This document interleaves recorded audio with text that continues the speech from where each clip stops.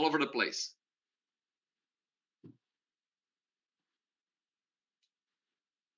Good. So, uh, welcome all to the MIS Journal Editors Panel. It's a great honor for me to, to hold this, host this panel with such a beautiful audience and the great panelists we have here today. Uh, Aurora, Miguel, and Fred. The main idea of this panel is to discuss if and how Latin American studies are welcome in top international MIS journals, while we see that Latin American IS researchers are increasingly publishing studies in those journals, uh, the vast majority of us still face difficulties in doing impactful research, communicating properly in academic genre, and as a a, consequence, having our papers accepted even in the editor's desk review. Let me tell you what happened today after my lunch. I opened my mailbox and I had a paper of my co-authorship desk rejected in one of those outlets. so uh, I know what I'm talking about. This panel will be a great opportunity for me too to learn from uh, the panelists. Everything happens for a reason. Each panelist will have some 10 or 15 minutes to speak before we open the discussion to the audience. The panelists are Dr. Aurora Sanchez, associate professor at Universidad Católica del Norte, Antofagasta, in Chile, uh, who is a co-editor of Lacais. Dr. Miguel Aguirre Urreta, who is uh, faculty director of the Innovation Hub, associate professor at the Department of IS and Business Analytics at the College of Business, Florida International University. Dr. Fred Niederman, endowed professor of management. Please help me in pronouncing this word. Chaifetz? Chaifetz? Chaifetz. Chaifetz. School of Business, St. Louis University, who is the editor-in-chief of communications of the AIS, and myself, Associate uh, Carlo Bellini, associate professor of MIS at uh, the Federal University of Paraíba, Universidade Federal da Paraíba, Brazil. And I'm currently a senior editor of uh, IT and People. Well, uh, we didn't discuss um, the sequence of uh, uh, the panelists. May I suggest that Aurora be the first, ladies first, or whoever. Okay. No problem. Yeah? No problem. Okay. Okay. So, so Aurora, please. Thank you. Welcome and feel free to. Thank you, Carlo and and and uh, Isla for having the opportunity to present our journal that is RELCASI Revista Latinoamericana del Caribe and the Information System. I see if I can share my screen. Yeah, I can do that. And um, I will present uh, very shortly uh, our journal. I'm very pleased to, to be part of it. The editor, um, Walter Moreno, uh, is, uh, is in charge of the journal, but I will, I'm the, I'm the senior editor. So RELCASI is a, is a, is a journal that belongs to the, to the AIS, and, and it represents the Latin America and the Caribbean community.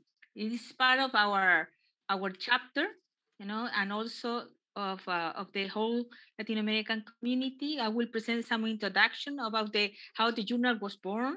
I will present who is uh, today the editorial the editorial board, uh, how in which stage we are, and some next steps that we are following. First, I want to say that everybody knows, you know, uh, how the RELCASI uh, started. This is a journal that uh, started as a part of a very ambitious project uh, at, uh, that was aiming to disseminate and research in MIS in Latin America and the Caribbean. Uh, then the first step in this, the, the first step in this in this process was starting having AMCIS 2006 in Acapulco. That's the reason Guillermo is there. And then in in 2010 we have Lima in Latin America too. So they, this was uh, initially the first step. And then we started having all on those conferences, Spanish and Portuguese presentations. And then we realized that the, we didn't have an outlet where those presentations in Spanish and Portuguese could be presented. Then we decided to start uh, this, this, journal uh, called Revista Latinoamericana um, uh, y del Caribe de, de la Asociación de Sistemas de Información, and starting uh, using, you know, requesting those authors to, you know, present the, the, their papers to the journal. You know, so it was open to most researchers and practitioners to present their ideas through a high quality scholarly and applied manuscript. Then, and this journal not only accept research paper, but also research in progress report, teaching cases, and innovative IT projects. Uh, mainly, the journal was aiming to foster a dialogue, to, to try to make a dialogue in, in, in the uh, among the, the Latin American community in MIS and creating, uh, you know, a, a, a source where uh, Spanish and Portuguese research could be found. That uh, this was a major point uh, among the discussion in the Latin American chapter of the of the uh, Association for Information System, because we realized that we didn't have place to put our research uh, in our own language. Uh, we uh, in in RELCASI uh, accept papers in in in English, Spanish, or Portuguese. The only requirement that we have as is the, in English as the paper should have something related with the Spanish uh, Spanish projects or Spanish you know development. So uh, we are reaching a very wide and varied, a, a, a wide community that include uh, 33 uh, cultural, you know, diverse states with population of more than 60, 640 million people. Half of them are Spanish speakers and the other half is Portuguese speakers. So we have a very big, you know, uh, population to serve. And we're very happy because uh, we are having, you know, uh, this conference in Isla, which is a big, you know, space to to show what Latin American researchers are doing.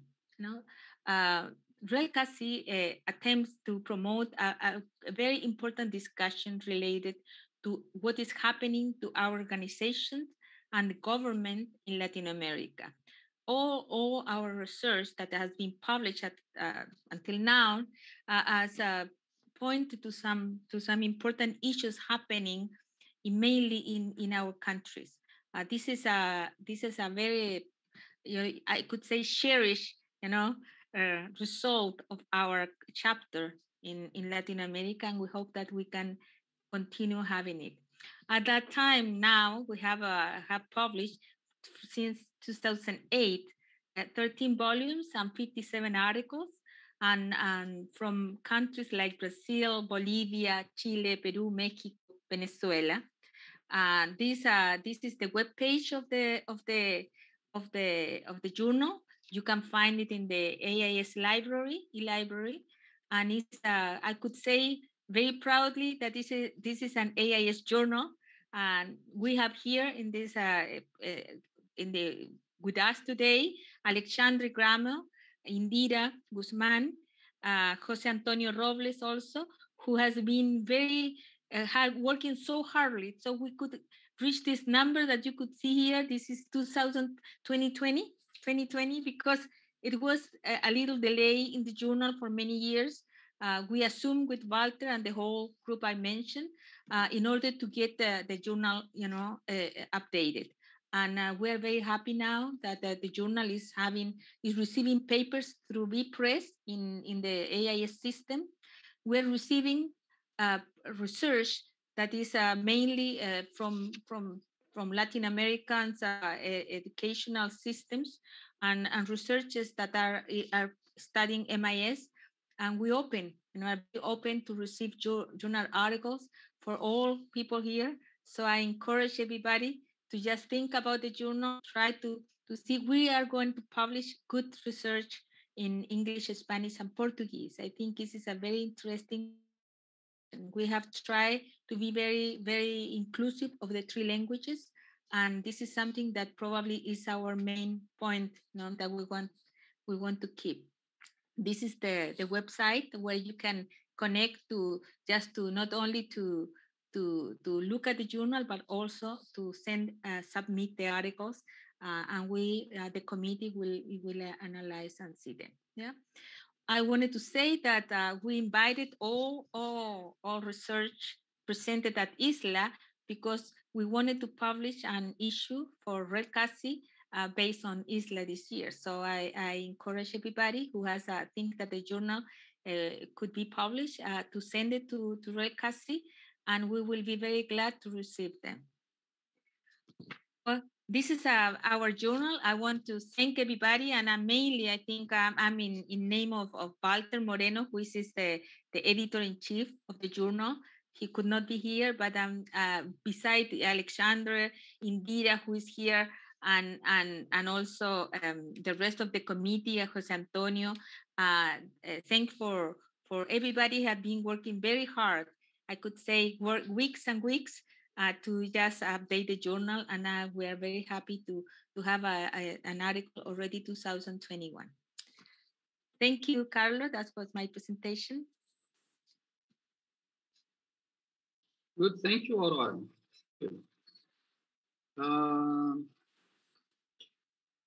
So now uh, Miguel or or Fred. Um, I didn't ask uh, Alexandre if if uh, the audience is supposed to uh, to to to manifest at the end. I think so. Whenever.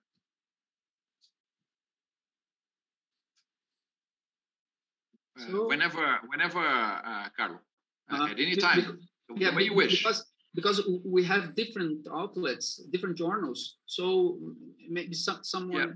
But, but maybe, maybe, maybe we could have questions at the end so that everyone exposes their ideas. Good. So if we do not have anyone to, to ask uh, a question to Aurora uh, right now, we can ask the other uh, panelists to, to present their journals Fred?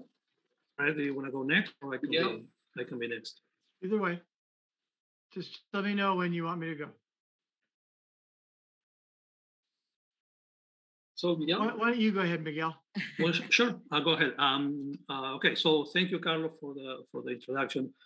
Uh, for the purpose of the panel, I'm a senior editor at the Database for Advances in Information Systems. Sorry for uh, introducing. uh, the database is, uh, let's see, Tom Stafford and Deb Armstrong are the editors in chief. I've been a, a senior editor there since hmm, 2013, so it's been a while. Uh, the journal started, I think, in 1969. It's one of the oldest mainstream, I don't know if it's the oldest, but one of the oldest uh, mainstream uh, MIS journals out there. It is not part of the AIS. Um, it's uh, published by the Special Interest Group in MIS from the ACM, so it's an ACM journal. I would categorize it as a generalist journal. There's not a particular uh, bent towards one type of research or other. I was while we were starting today, I was browsing the, the last few issues, and you see everything from you know, adoption research, there's job satisfaction research, there's some privacy, there's some security, some blockchain, some philosophy of research. So there's anything from the, the more hardcore technical type of research on blockchain all the way towards, you know, why are we here and what are we doing type of, of papers. So there's quite a bit of, of, of gamut there. Um, I, I want to talk a bit about the, the approach that I take for uh, when I, when I get research. And going back to Carlos' point about desk rejects and so on, and there's some, I, I think, ongoing discussion as to when and how we want to use we want to use that tool. I, I rarely have desk rejected uh, paper. I think I've done it once. So one time that I really didn't see absolutely anything happening there. Uh, it may be that by the time Tom and Deb assign the papers to us, they have done their check, and they have. I would assume that's the case. I, I do read uh, absolutely everything that, that I get assigned, uh, and only then I figure out whether there is um, there is something you know worth sending out for review. I, I tend to be I, I try to balance the amount of work that we put as authors in sending our research, which is a lot, uh, with the amount of work that needs to happen behind the scenes uh, in terms of editorial time and then reviewer time and, and so on. Uh, and so, on the one hand, I tend to err on the side of the authors in terms of unless I really do not see anything happening, I will send it out for review to see if somebody else uh, who is maybe closer to the area uh, sees value there. So I will err on that side. Uh, but at the same time, I, I try to protect the time of the reviewers. So when a paper clearly is not going to happen, and after two rounds of reviews, there's really nothing that can be done, then it's time to, to pull the plug and, and, and you know let the reviewers be and let the, the authors be. Uh, I, I take on two types of assignments a database typically, um, either uh, those related to, to human computer interaction, which is my substantive area of, of interest and where I did my, my dissertation work. Uh, so anything regarding you know, computer self-efficacy and, and HCI and computer anxiety and stuff like that, I, I do take to get a database. And I also get papers that are either uh, methodological in nature, because I've done a lot of my research on, on quantitative methods. I do not touch qualitative papers period. They are great to read, but I'm not qualified to, to uh, see them. So I get either papers that are heavily in methods themselves or papers that have uh, some degree of methodological complexity that is that is not that common and I, I the kind of person that actually enjoys uh, looking at complex methods and trying to figure out how they're being used and so on. So uh, th- that's my, my my overall approach to it. I will I will tend to err on the side of the authors, uh, so to send out for review unless I really don't see any any avenue for for a paper moving forward. Um, but I'm also mindful of you know there's there's a lot that happens behind the counter to make a journal uh, happen, and there's a lot of work that happens on that end, which is um, much less recognized than when you or we as an author publish something. So I'm mindful of, of protecting everybody's time. Um, I think that's it. Hopefully that, that makes sense.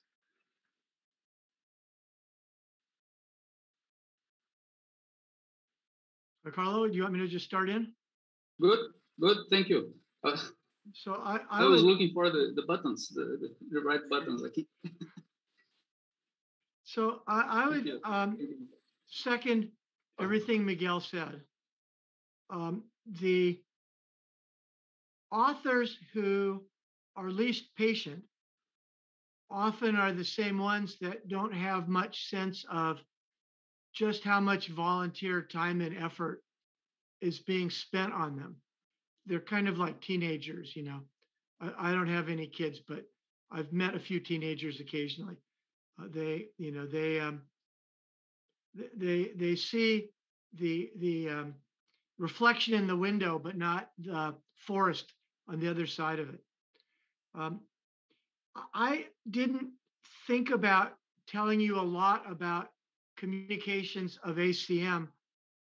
You know how many readers we have and all this. It's history. By the way, the database was the second IS journal after MIS Quarterly, and they were both started by the same group in Minnesota uh, a database is part of ACM, and it spun out from uh, from Minnesota about I'm going to say 30 years ago, and Georgia State people uh, took it over. Eph McLean and Mark Keil and some others, and it's been uh, run by the same special interest group on computer personnel research and special interest group on MIS. MIS is like the third oldest special interest group in ACM. Uh, it, it happened when computer science people realized that just building systems didn't get them to actually be used by anybody. But, but that's a whole other history. Um, what I wanted to talk about a little bit comes from my experience with a different journal called Journal of Global Information Management. And, and I'm sure a lot of you are familiar with this. So one of the, so I've written a fair amount in what's called global information systems. Uh, my first published accepted journal article uh, that I did on my own was looking at what's called group support systems as used in Mexico. And I was supported by Monterrey Institute of Technology to interview group facilitators and people using the technology.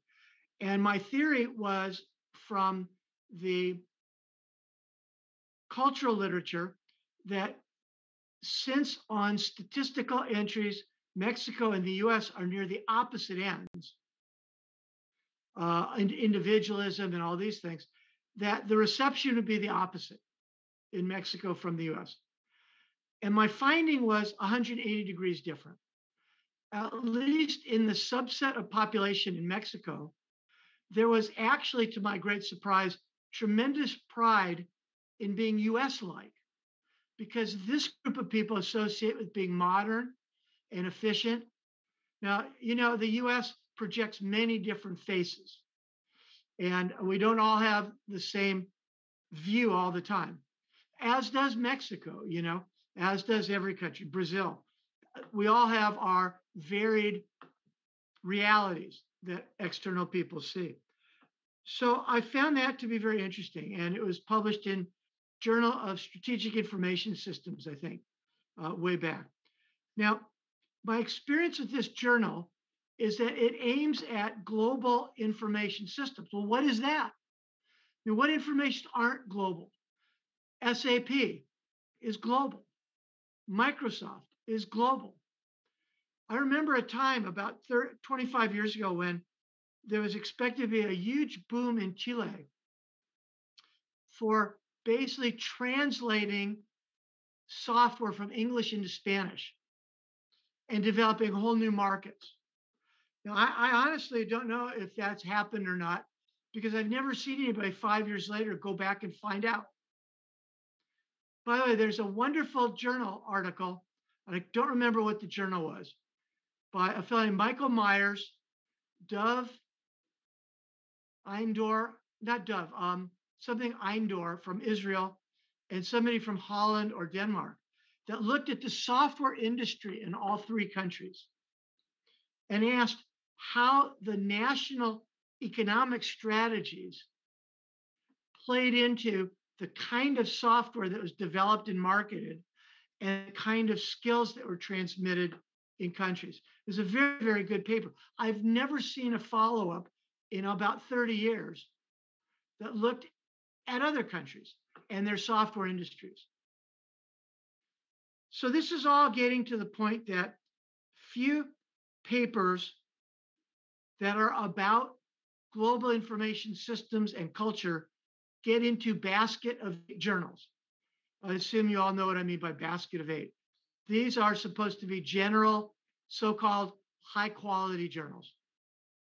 I would say they're precise. They weed out a lot, anything really interesting or poorly constructed is weeded out. So you get lots and lots, my personal opinion, of B plus, A minus articles. But in database, you get everything from the D's and F's to the A pluses. And that means, in my view, the handful of really great papers are often from the databases, the CISs. And I find that people tend to have a mixture of two motivations in publishing. One motivation is success at their school and recognition, and the other is making a contribution to the community. Now, some of us are at schools that are relatively light in their grading criteria, so we can just max out on contribution. And if our papers are accepted, fine. If not, we just try another one. By the way, you mentioned uh, having a desk reject. I had a reject on a first round that was close to a desk reject last week. I talked to a former uh, president of AIS who got desk rejected this week. So this is ubiquitous. The question is not getting desk rejected, it's what do you do next?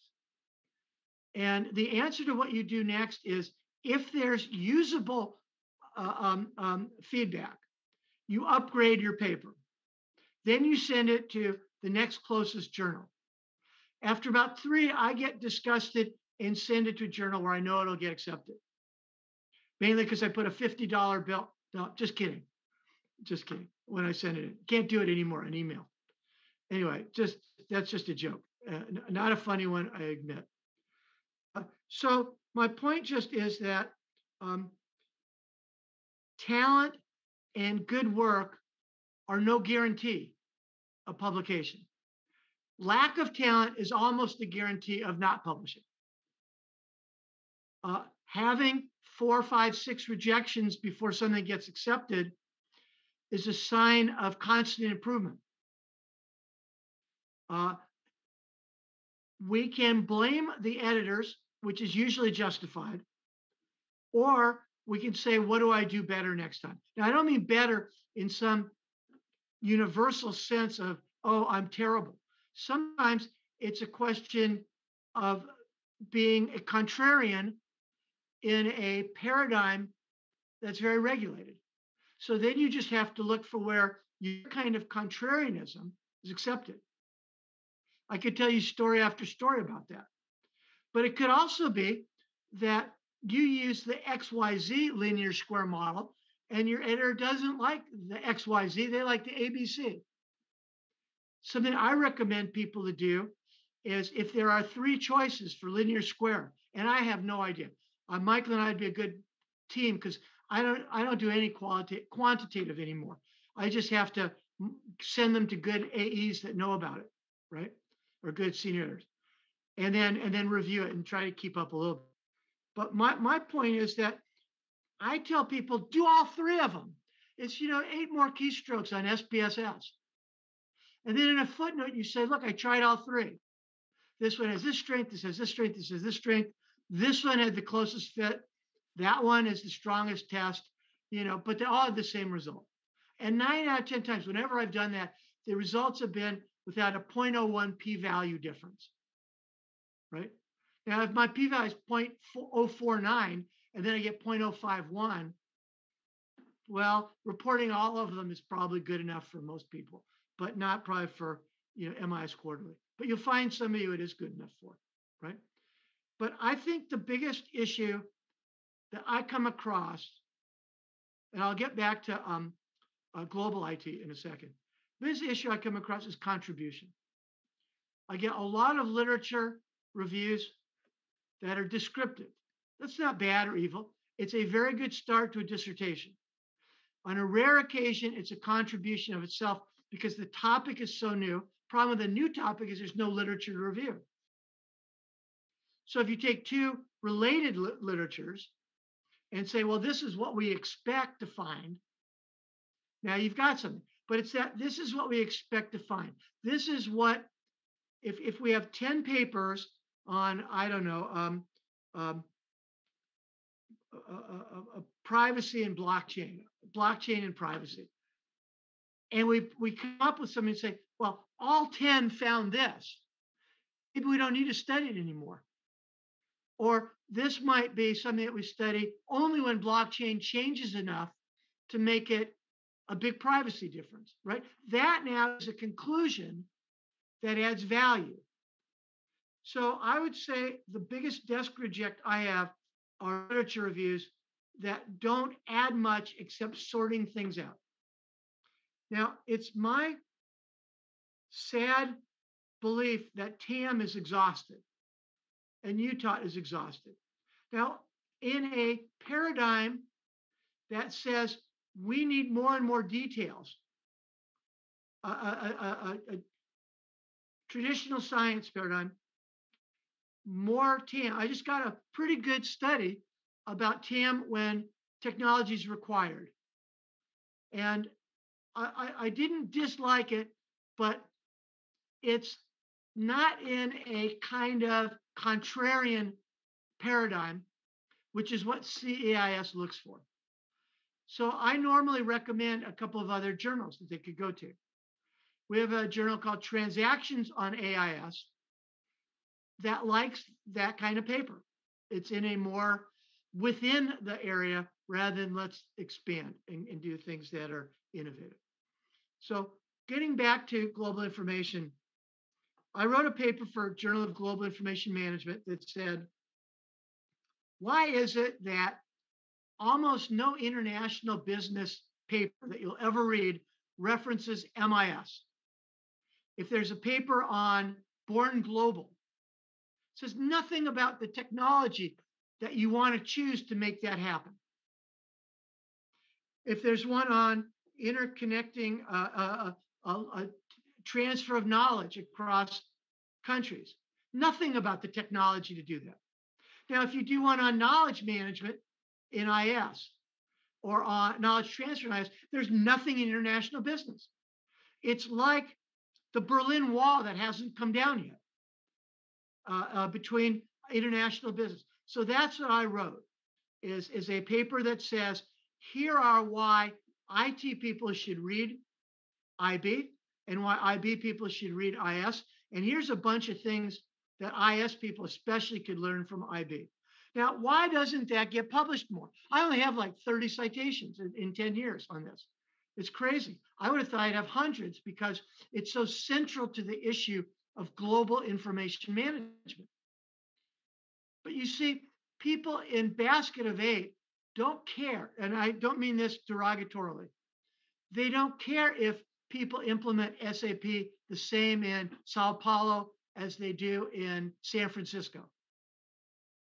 Either everybody does it the same, which is their uh, assumption that goes unchallenged, or, well, if you do Brazil, then you have to do Nicaragua, then you have to do you know, uh, uh, and you can see you have to do 200 countries. We have the same problem, by the way, in human resource management and IS. HR people do not want papers about IT professionals because, well, why, then the next thing is we have accountants, then we have engineers, then we have nurses, and then the whole the whole realm is thrown open to everybody, and we can't have that. We're just looking for the universals that apply to everybody. This, I think, is one of the things that you're going to run up with if you're really interested is how do we implement SAP for our clients here in Sao Paulo in an efficient and effective way? Because we know that 80%, somewhere between 20 and 80% of the gringo stuff from America, from the US, sorry, I don't mean America, in the US or Germany, isn't going to work here because we have a different economic regime, different cultural regime, we have different clients. We have a company that you probably hate called Monsanto in town here in St. Louis. And they talk about how they do business in Brazil. They have a very big presence in Brazil. And, and their financial structures are arse backwards relative to the states. And they, they don't mind that at all. They love learning from both of them. Okay. Now, this is on the business side, not on the, you know, uh, poisons in the in the in the environment side. Okay. Anyway, so I don't mean to be pessimistic or crude, but if you're going for a basket of eight and you're doing how you implemented SAP in Sao Paulo, you have to both convince people that it has universal applicability and that there's something about what you learn in Sao Paulo that can be at least worthy of applying in New York or London also have I gone way past my time? I usually do. Um, but I, I, can go on and on. I look forward to answering questions. But if I were asked to give advice to, uh, say, my friend Alex, he's an experienced, long-time published person. But if he says, I want to do more in the basket of eight, I'd say, well, then you either have to become part of the group that is Carnegie Mellon oriented, universalistic, or you have to sell something that's offbeat in their own terms, that's going to be meaningful to them. Or you can say, look, I'm happy with ITNP and database and CAIS. These are good journals read by a lot of people. We have far more downloads, by the way, than MIS Quarterly and ISR put together. We also have an education department, which we published. We had a special issue. Uh, Alex was one of our, uh, uh, Guillermo, you mentioned, is one of our AEs for it. We put it together 50 approximately, published eight to 10 page articles on what people actually do. We have a department for this. I'm much happier printing a 10 page paper on a new way that we invented a great way to incorporate entrepreneurship and IT in the intro class or in systems analysis class. Or we have a new class that teaches people how to do IS using blockchain. I, I love these papers. We're educators. 80% of AIS members do not teach at the Carnegie Mellons and the Monterrey Techs of the world. They teach at schools where there is no PhD program, where your influence on the world is by teaching students who are going to go out and implement it. So you want them to learn as much as possible, of the best as possible, taking out esoteric nonsense and putting in more of what's going to be helpful to them. My opinion. And I have four more hours of opinion. So that's basically what I wanted to communicate. Anything you want about CAIS, my experience with global, um, you know, my experience competing in this other realm, uh, I'm just I'm just delighted to be able to share it with you. Thank you. Thank you, Fred. Thank you. Thank you so so much. Thank you. So much. Uh, so uh, now I will briefly comment on uh, ITN people. Uh, this is the very first time I'm using uh, Zoom, so I'm trying to see how to share my screen.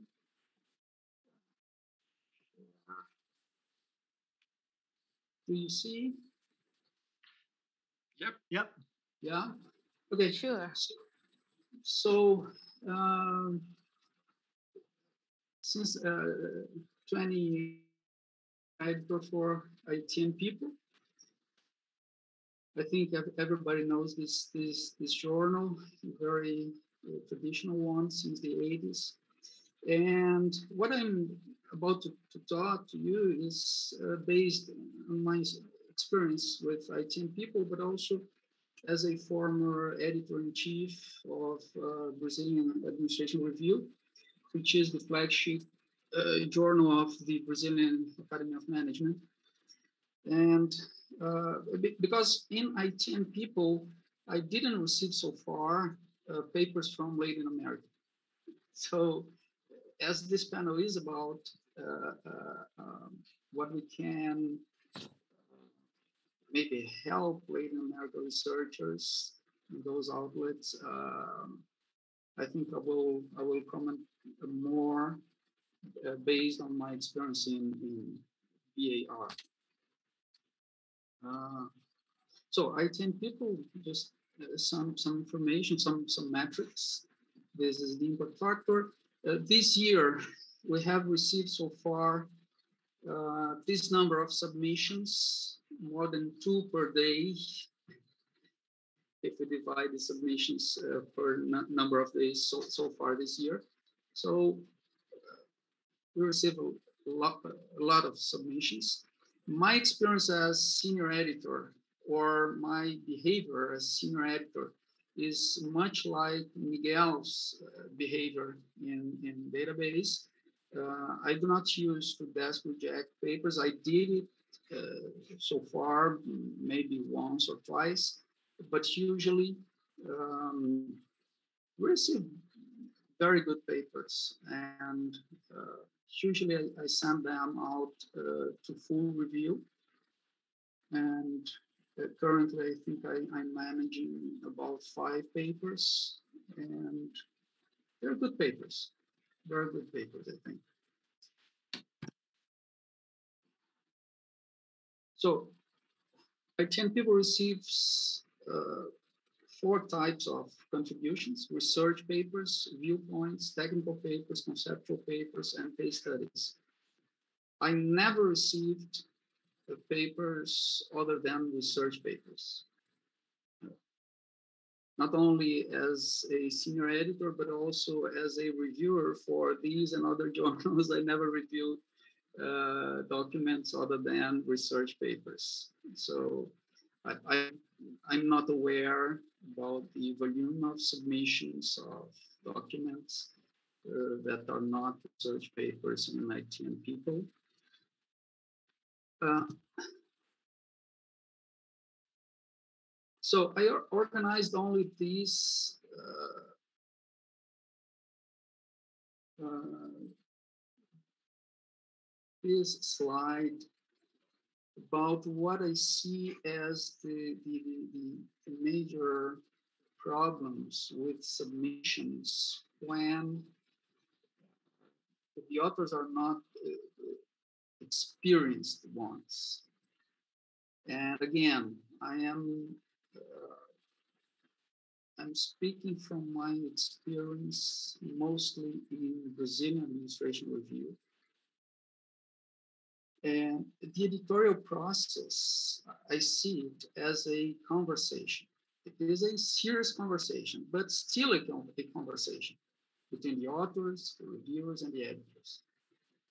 So uh, when you have this in mind, I think you change how you communicate with the potential readers and you communicate to potential readers through your article and how you communicate with the editorial uh, uh, um, people in the uh, revision letters. So I organized these items to as my my uh, most intriguing or my perspective on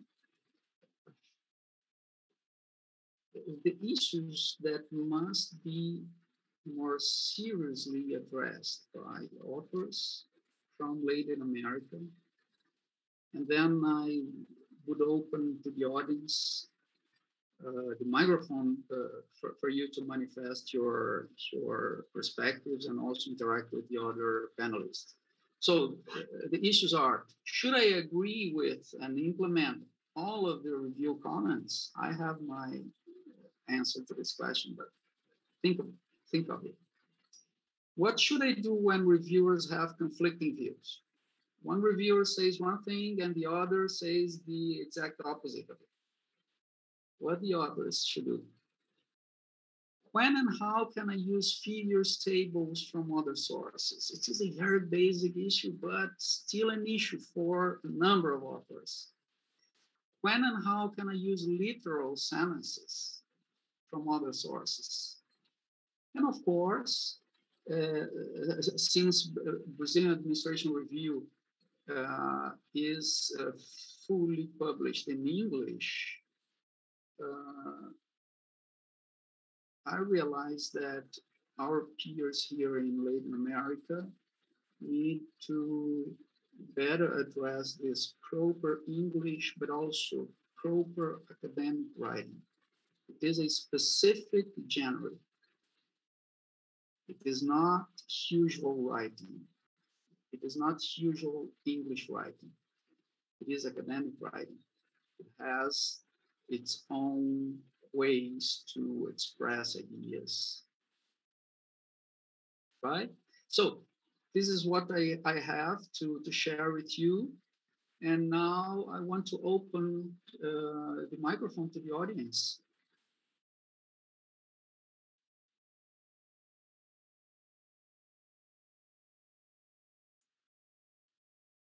First, let me see how to to close my my screen.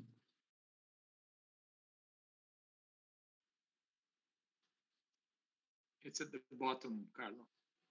Sorry? It's at the bottom, the same place where you had the share screen.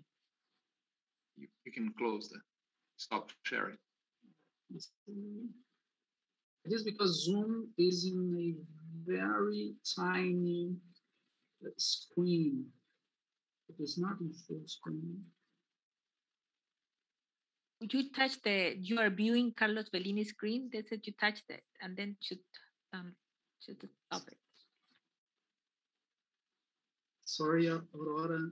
You had to, to, see up there where there's op, view options and this this menu are up there. Then you have to touch it and then probably say close it. No? Eh, eh, do, do you see my desktop? Yes. Yes. I see your presentation. So stop security participant chat and share.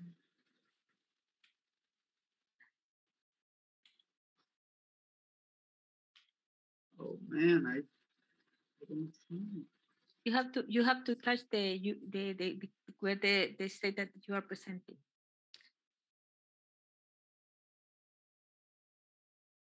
Stop. Right. It's in green. It's in green. good, good. Yes. Thank you,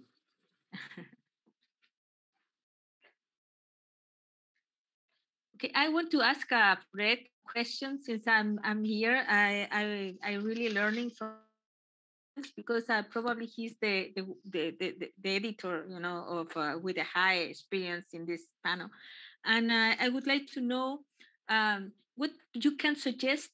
The the the people here in the conference are probably very new new researchers. Uh, what do what do you suggest to them to to just start just thinking about uh, journals in in in the level of your journal because we have a journal that this is the beginning you don't have any index it it's not an index journal yet but for you to for them to think about uh, publishing in journals like yours Um, I got what, what uh, there's a fellow named Allen Lee who was the editor of MIS Quarterly for a number of years, uh, I don't know, 20 years ago. And I asked him once, how do you go about publishing in MIS Quarterly? And he gave me an answer that I did not expect at all. He said that you have to understand this is a social process, that there's a group of people who have a uh, a common framework, not identical, but an overlapping framework. So if there's a journal that you're interested in, then say ITNP, for example, or database, then um, you start making sure to see that the kind of articles that are published are the sort of thing you'd like to do.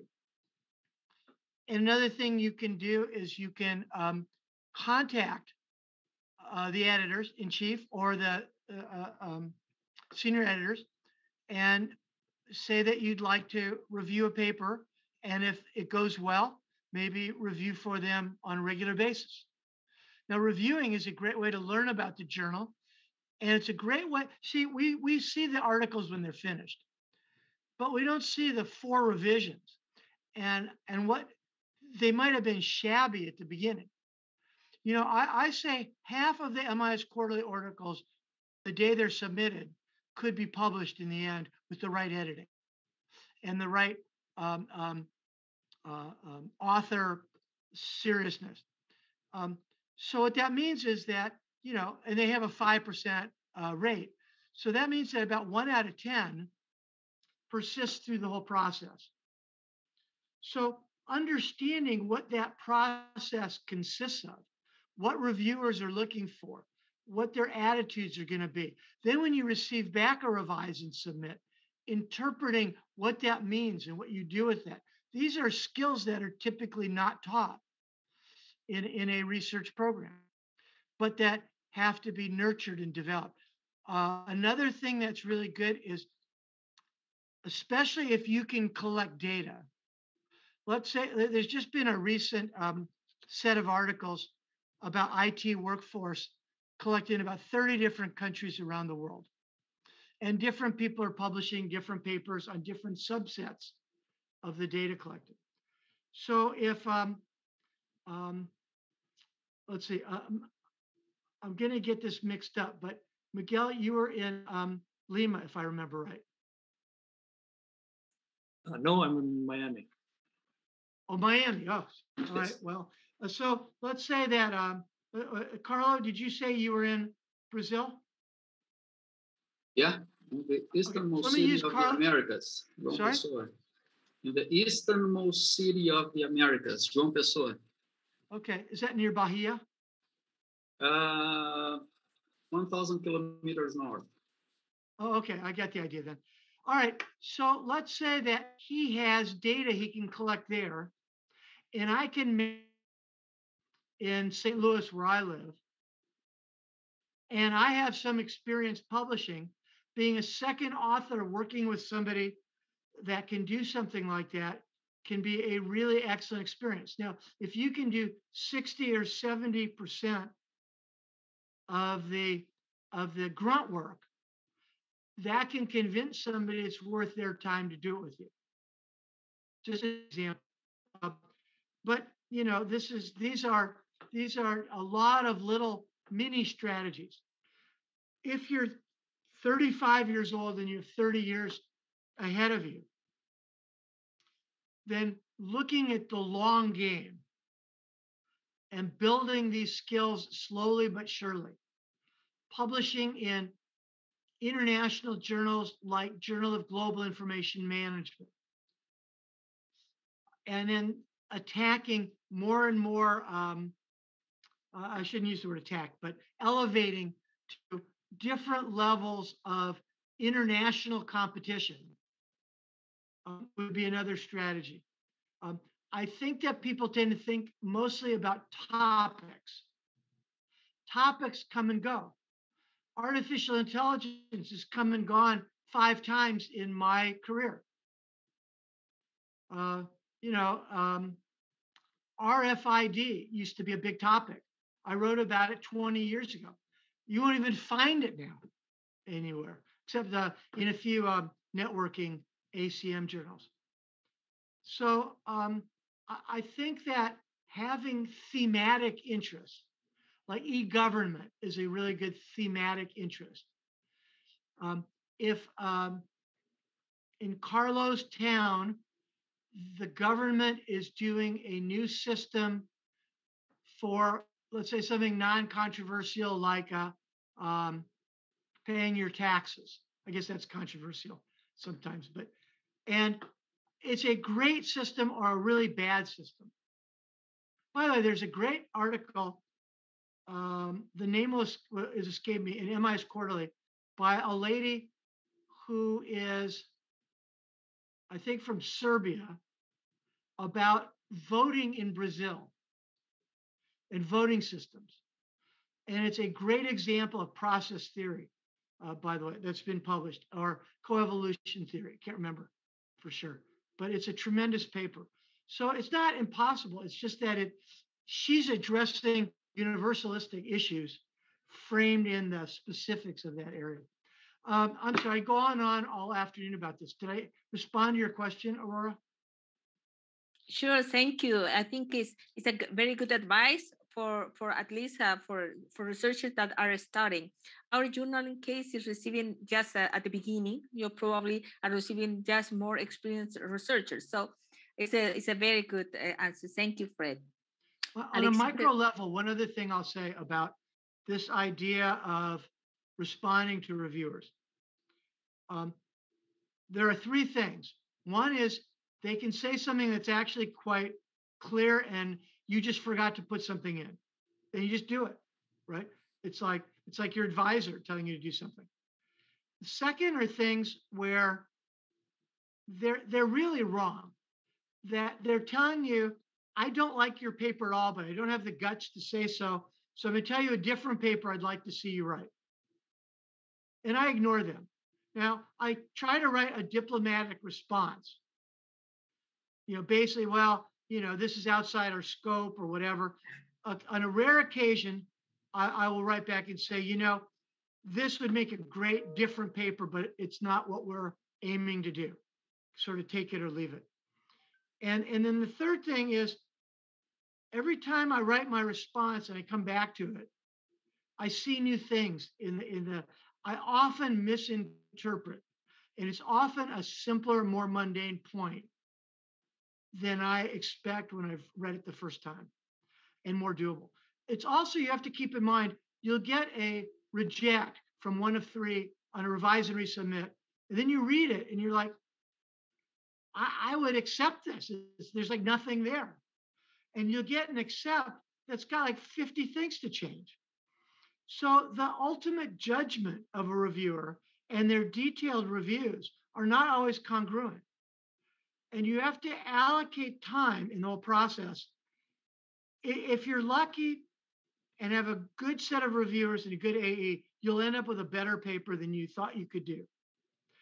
If you have an average one, you'll end up with a published paper that's different from but no better than what you started. And if it really stinks, you go somewhere else.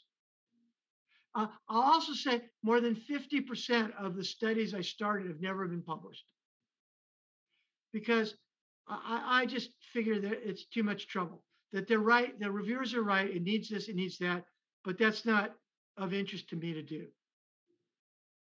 Okay. Thank you. I think I saw Alex's hand up. Thank you.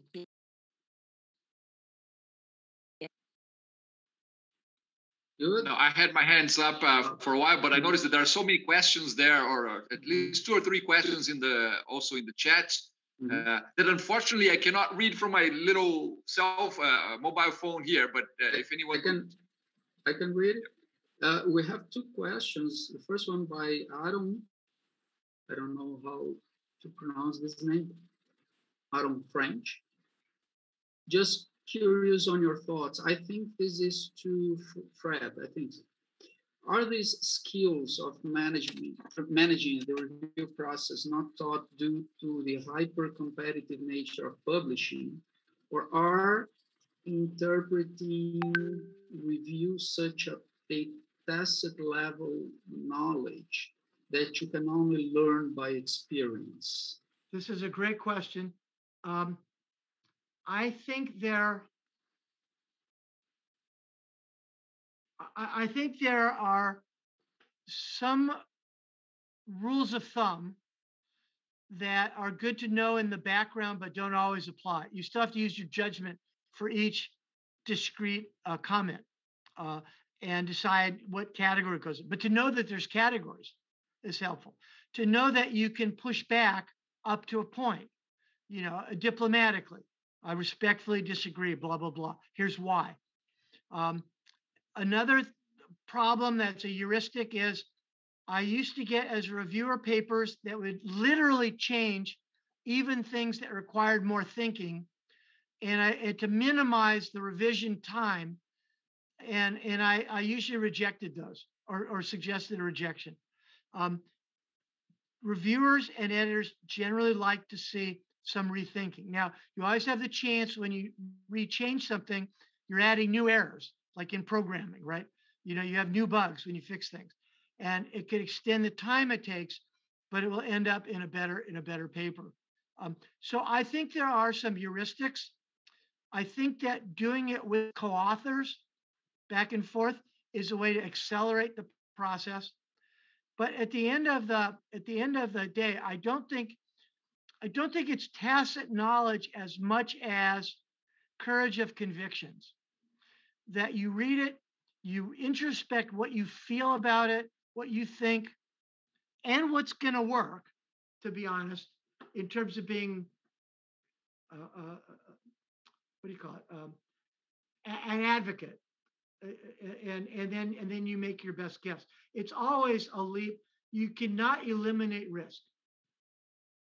You can minimize it, but you have risks whatever you do. And so you may as well do the things you believe in, because then if it goes wrong, you can be more righteously indignant.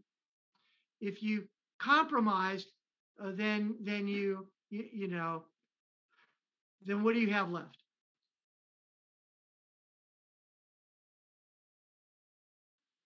Thank you. Thank you. And we have a, a, a last question here from Pedro, my friend and colleague here in my university. Uh, if I may ask, how does the magazine of uh, Huron view the open science movement and initiatives like arXiv.org? This is a question for everyone. Oh, Well, I, can tell you very quickly. that Ah, right. we we do whatever AIS policy suggests and and don't really worry about it. Um, about seven eight years ago, I I had some folks that were interested in an open reviewing, and I said, "Good, write a proposal that explains exactly how you're going to do that." So if somebody wanted a special issue on, say, global IT, and they said, here's how we're going to open this up to anybody wants to review or any AIS member or any of some subset, and here's how we're going to make a final decision, such that if it worked, we could expand it to more things. And if it didn't work, we could say, thank you, it was a worthy try. Uh, I'd be open to that. I think database might be open to that. ACM certainly is in general. Um, AIS probably would be. I am not in favor of charging authors for open access.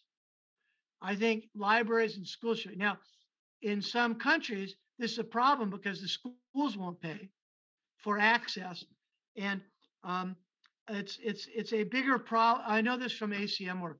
It's a bigger problem than it seems like it. Uh, nobody. It's expensive to maintain digital libraries, and nobody really wants to be the one paying for it. I don't like authors paying for it because it seems like it, it could lead to too much corruption. In contrast to libraries. Thank you. I could say also Sure. we receive papers in this topic as soon as they are related with some uh, uh, Latin American issues, so it's fine. Guys, just want to remind you that if this shuts uh, because uh, there, uh, we're, we're, it's time for us to, to leave here, we can continue our talk in our social time area, right? I, I think I've sent the link before. So go ahead, uh. Okay, that's that's fine. I already state that we uh, we will be very happy to receive those papers and uh, as much as they are in, in our topic in our area of, of the research, which is uh, a, a MIS in Latin America. I would like to, to thank everybody who attended uh, this